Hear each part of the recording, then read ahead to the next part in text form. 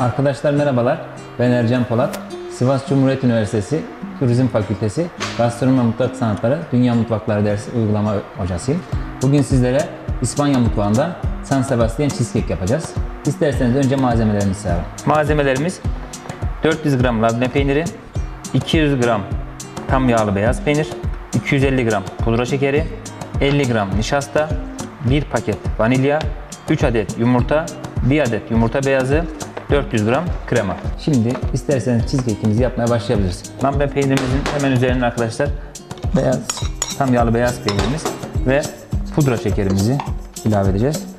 Labne peynir, beyaz peynir ve pudra şekerimizi ekledikten sonra makinamızı çalıştırmaya başlayabiliriz. İlk aşamada bu üçünü karıştıracağız arkadaşlar.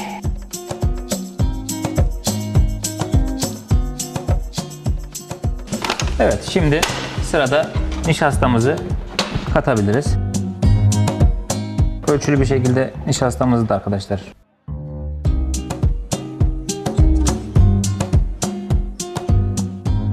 Bu aşamada bir adet şeker vanilini kattık.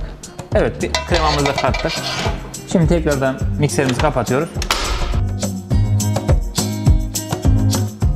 Evet arkadaşlar, tüm malzemelerimizi ölçülü bir şekilde karıştırdık.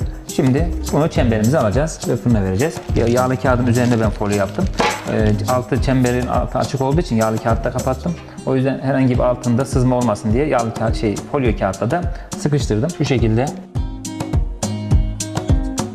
Evet şimdi sosumuzu çemberimize boşalttık. Ee, 250 derecelik önce ısıttığımız fırında üzeri kızarana kadar pişirme işlemi yapacağız. Cheesecake'imiz şu an fırından çıktı. Akışkan halini isterseniz size göstereyim.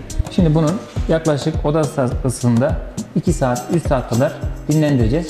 Sonra buzdolabına alacağız. Daha sonra soğuduğunda servisini yapabilirsiniz. Evet arkadaşlar, dün San Sebastian cheesecake'imizi hazırlamış ve pişirme işlemini tamamlamıştık. Ee, bunu bir gece Dolapta dinlendirdik. Pişirmeden sonra önce oda ısısında birkaç saat beklettik. Daha sonra artı 4 dereceye bıraktık bir gece. Şimdi bunun porsiyonlama işlemine geçeceğiz. Kalıptan çıkardık. Şu şekilde artı porsiyon arkadaşlar burası zaten dün yaptığımız ölçü. Şimdi bunu porsiyonlayalım ve sunumunu gerçekleştirelim. Cheesecake'imizi dilimleyelim. Bir gece beklettiğimiz için zaten içini çekmiştir arkadaşlar.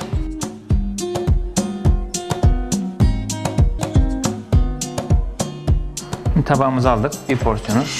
İsterseniz sade bir şekilde sunum yapabilirsiniz. Misafirin arzu ettiği ölçü kadar yapabilirsiniz çikolata sosunu. Bu ölçü bir porsiyon için yeterli. Evet görüyorsunuz arkadaşlar. San Sebastian cheesecake'imiz bu şekilde hazır. Evet cheesecake'imizi hazırladık. Şu an tabakta porsiyonlamasını ve sunumunu gerçekleştirdik.